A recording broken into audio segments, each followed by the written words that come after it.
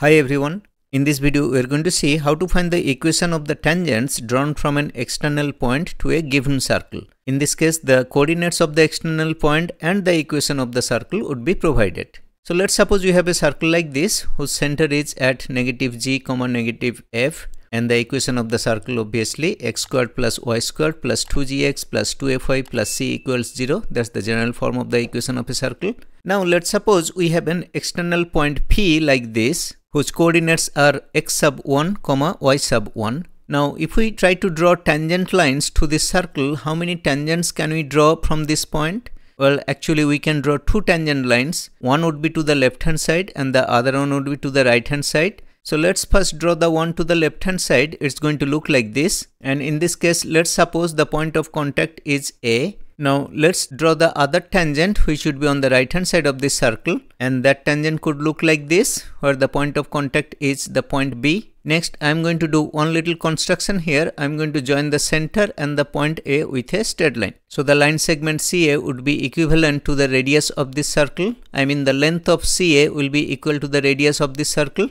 And from the general form of the equation of a circle, we know that radius is equal to square root of g squared plus f squared minus c. Because we have been provided with the equation of the circle, we can easily calculate the value of r. Everything is known here. g is known, f is known, c is also known. So the value of r will be known if we are provided with the equation of the circle. And in this case, like I mentioned, the equation of the circle would be provided. That means we know the value of G, F and C. That means we can easily calculate the value of R. So R is a known quantity here. And also I have mentioned that the coordinates of the point P would be provided. That means X sub 1 and Y sub 1, they are also known quantities. Now somehow we have to find out the equations of the tangent lines. Now we have two tangent lines with two different slopes because they intersect each other at an angle. So if we can somehow calculate the slope of these two tangent lines, then we should be able to come up with the equation of the lines because we already know a point which is a common point on both the tangent lines and that point is the point P and the coordinates are already given. So let's try to see how we can calculate the slope of these two tangent lines. Let's suppose the common equation of the tangent lines is like this. Y minus y sub 1 is equal to m times x minus x sub 1. I am using the point slope form of the equation of a straight line because we already know the coordinates of a point which is given. X sub 1 and y sub 1 that's given. And we are using one unknown here which is the slope.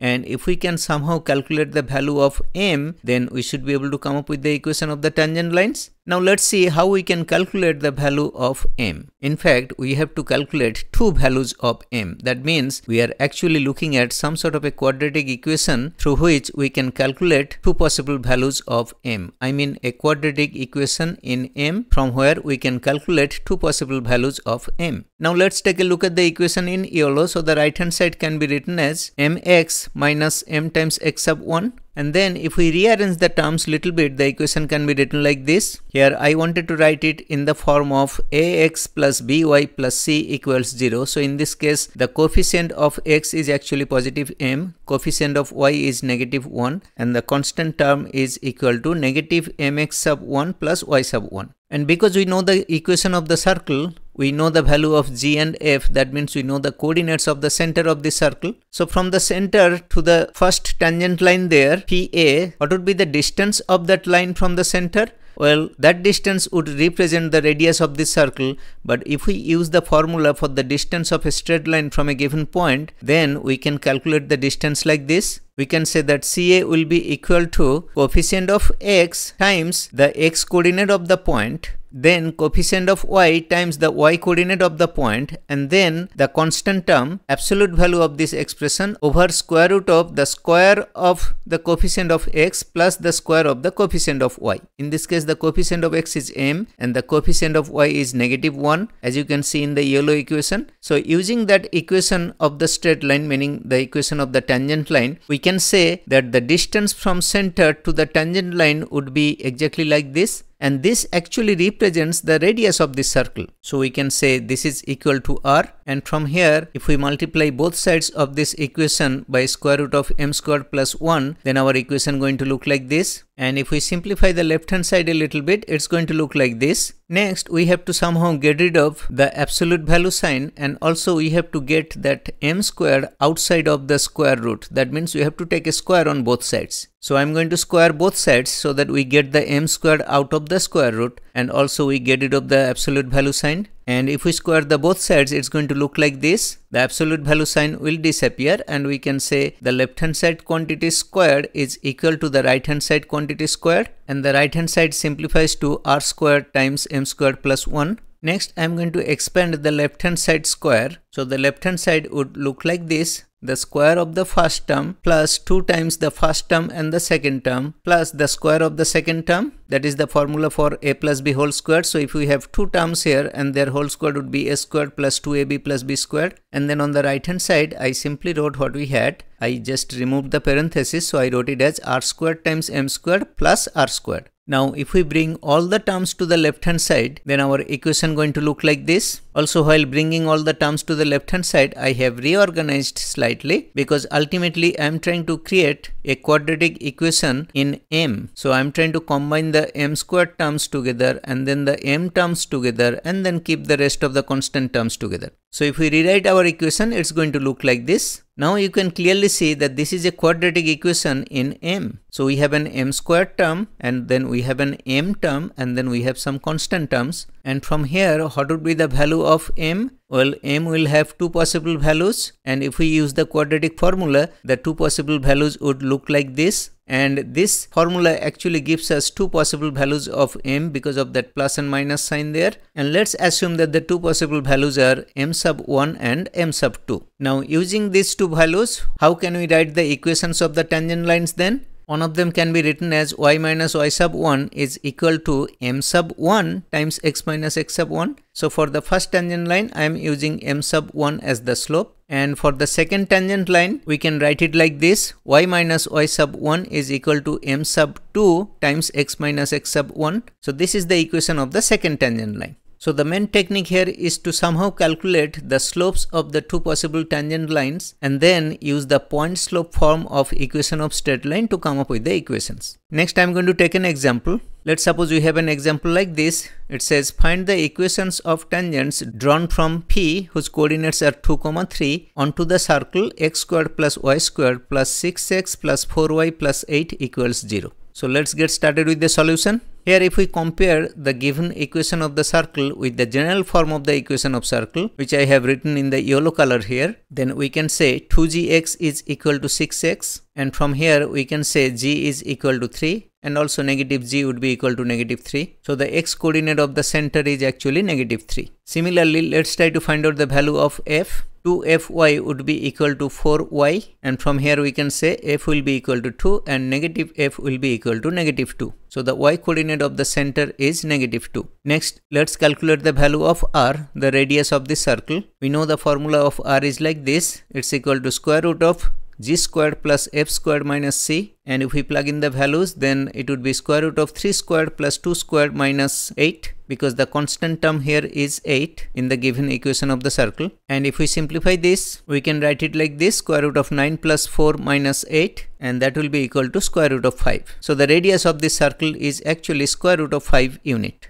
And the coordinates of the given point are 2 comma 3 so in this case x sub 1 is equal to 2 and y sub 1 is equal to 3. I have made a small note there in yellow color. Next, let's try to derive the equation of the tangent line. So we are going to begin with the point slope form of equation of a straight line and that can be written like this y minus y sub 1 is equal to m times x minus x sub 1 and if we plug in the values of y sub 1 and x sub 1 then this equation can be written like this y minus 3 is equal to m times x minus 2 because y sub 1 is equal to 3 that's the y coordinate of the given point and x sub 1 is equal to 2 that's the x coordinate of the given point. From here we can write the right hand side as mx minus 2m and from here if we bring all the terms together then we can write the equation like this. It would be mx minus y minus 2m plus 3 is equal to 0 and this is the general form of the equation of the tangent lines. Now we are going to try and find out the distance of this line from the center.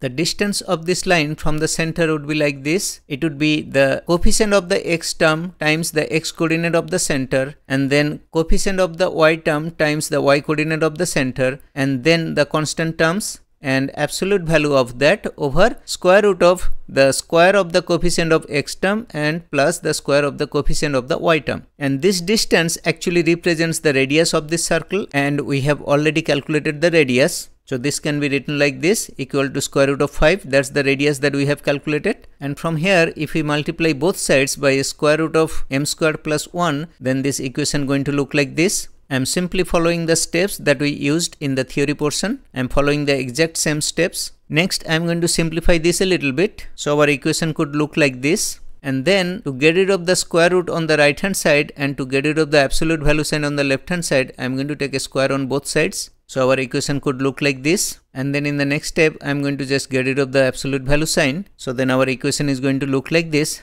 On the right hand side I have also combined the two square root terms. So I have noted it as square root of 5 times m squared plus 1. And if we expand it our equation going to look like this. The left hand side will be 25m squared minus 50m plus 25 and the right hand side will be 5 times m squared plus 1 and that can be written as 5m squared plus 5 and next I am going to bring all the terms to the left hand side. Then our equation will look like this. And if we simplify this a little bit the equation will look like this. 20 times m squared minus 50 times m plus 20 equals 0 and we have a nice common factor here. We can use 10 as a common factor. So if we divide both sides of this equation by 10 then our equation will look like this and if we factorize the left hand side then we can write it like this. Expanding the middle term we can say the equation will be 2m squared minus 4m minus m plus 2 equals 0 and from there we can take 2m as a common factor from the first two terms. So that would be 2m times m minus 2 and then from the last two terms we can take a negative 1 as the common factor. So that would be negative 1 times m minus 2 and now we have m minus 2 as the common factor. So if we take that out we are going to be left with 2m minus 1 so m minus 2 times 2m minus 1 those are the two factors on the left hand side and right hand side of course is equal to 0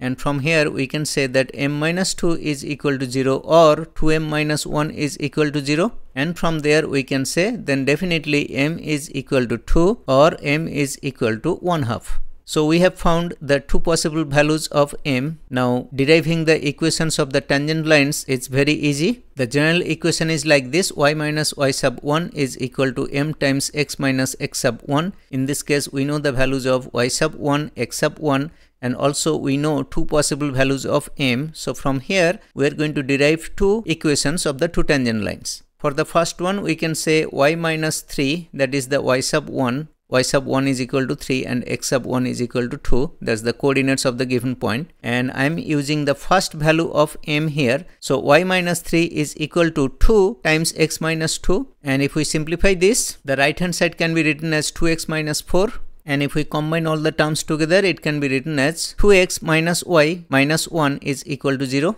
so that is the equation of the first tangent line and similarly let's derive the equation of the second tangent line using m as 1 half. The equation of the second tangent line can be written like this y minus 3, 3 is the value of y sub 1 is equal to 1 half which is the other value of m times x minus 2 in this case 2 is the value of x sub 1 and if we multiply both sides of this equation by a 2 then the equation would look like this 2y minus 6 is equal to x minus 2 and now if we combine all the terms together on one side then our equation would look like this x minus 2y plus 4 equals 0 and that is the second equation I mean that is the equation of the second tangent line. I hope everything made sense. Thank you for watching. See you in the next video.